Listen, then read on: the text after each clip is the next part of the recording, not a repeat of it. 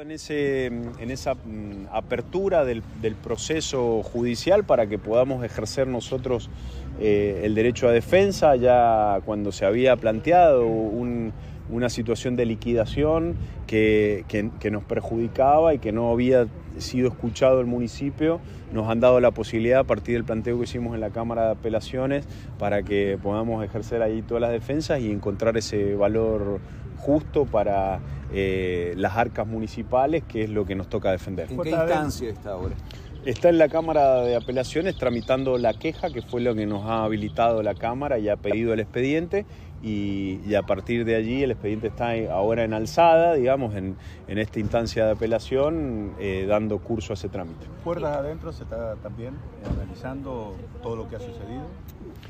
Eh, por supuesto, está interviniendo el Consejo Deliberante en esas eh, investigaciones. Eh, claramente, ha habido, claramente ha habido negligencias en, en, la tramitación de la causa, pero bueno, hemos llegado a tiempo en cuanto a los planteos y hemos logrado poder eh, evitar el, el, el daño que se podría haber ocasionado si eso se ejecutaba y vamos a aprovechar esta instancia para defendernos de la mejor manera. con el tema judicial con los propietarios o los que están reclamando el pago?